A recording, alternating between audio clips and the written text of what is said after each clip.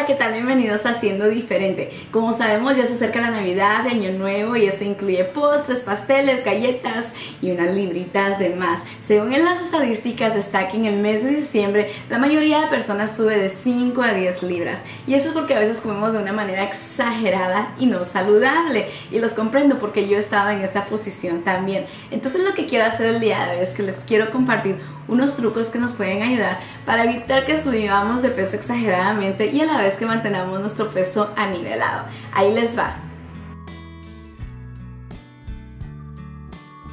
Uno de los errores que nosotros llegamos a cometer cuando sabemos que hay una fiesta o Navidad, Año Nuevo, lo que hacemos es de que a veces no comemos en todo el día porque como vamos a comer y la comida va a estar deliciosa para Navidad, dejamos de comer. Y el problema es que cuando nosotros ya llegamos a la fiesta a comer, estamos con muchísima hambre que queremos arrasar con todo, nos olvidamos de tomar líquido y solamente comemos y comemos.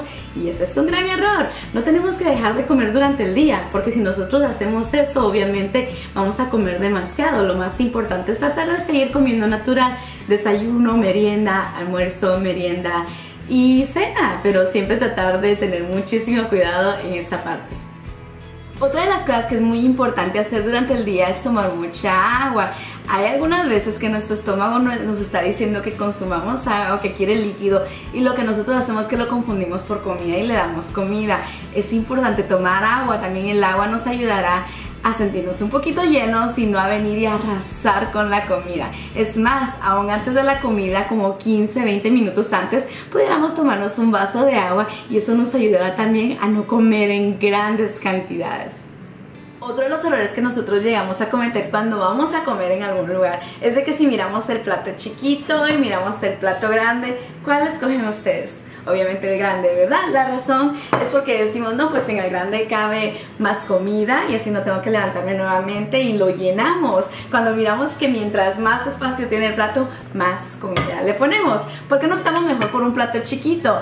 Eh, simplemente es confundir a nuestro cerebro. Podemos ponerle la comida y créamelo, que cuando ustedes ya se hayan acabado la comida, es como algo que uno piensa, le hace pensar al cerebro que estamos llenos. Y pues si no se llenan, pues no es servirse. Pero créanme lo que esto ayuda bastante. Y si se quieren servir nuevamente, esperen como 15, 20 minutos nuevamente, porque es el tiempo que toma a veces para que nuestro estómago nos haga sentir que estamos llenos. Trátenlo y verá que funciona. Y eso es para las personas que son como yo, que les encanta los postres, los dulces y todo lo que tenga que ver con azúcar. A mí me fascina, pero el problema es de que cuando nosotros compramos postres de otros lugares está lleno de grasas saturadas que simplemente no nos va a ayudar. Y si queremos, pues probamos, haremos porciones pequeñas, no haremos en exceso. El problema es de que cuando agarramos en exceso, esos tienen un ingrediente que lo que va a hacer es confundirnos, que queremos más y queremos más y no paramos de comerlo. Y eso es lo que nos hace muchísimo daño. Porque a lo mejor optamos por hacer los postres nosotros en casa, créanme lo que va a ser más saludable, ojalá, evitando poner muchísima azúcar. Y también si miramos postres y miramos fruta, ¿por qué no cambiamos a la fruta un poquito?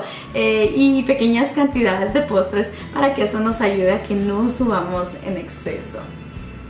Otro de los consejitos que me gustaría darle es de que si usted sabe que va a comer en cantidades extremas o cantidades altas, es de qué días antes empiece a preparar su estómago. ¿De qué manera lo puedo preparar? Es evitando carbohidratos en exceso. Ya bien sea puedo comer tal vez como proteína, que es como el pollo con los vegetales, y evitar los carbohidratos si sé que voy a comer mal. Ya día después lo que puedo hacer, si he comido muy mal, tratar de venir y aplicar una desintoxicación en mi cuerpo para que me ayude a limpiar todo lo malo que comí.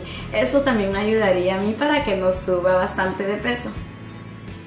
Otro de los consejos, si ustedes pueden hacerlo, es que cuando estén en las fiestas y vean que hay muchísimos carbohidratos y vegetales, optar primero por los vegetales, comer primero vegetales, ya después tal vez la proteína, después los carbohidratos, todo calma con calma, porque si venimos y arrasamos primero con los carbohidratos, es donde vamos a batallar bastante porque es lo que más nos va a hacer que subamos de peso.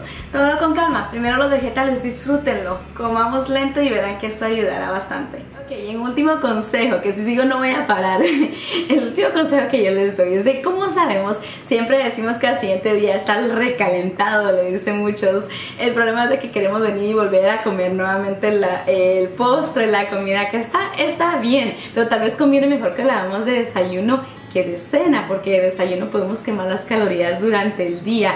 Eh, y si simplemente después todavía queda esa comida, mejor a veces regalarla o désela a alguien más si su deseo es bajar de peso, porque tenerla ahí lo único que va a hacer es que queramos seguir comiendo y seguir comiendo. Y eso es todo por el día de hoy, espero que esos consejitos les puedan ayudar a ustedes y si les gustó nuestro video por favor no olviden darle like y suscribirse a nuestro canal y de todas maneras aquí abajo les quiero compartir un link de cómo desintoxicar nuestro cuerpo. Nos vemos hasta la próxima, adiós.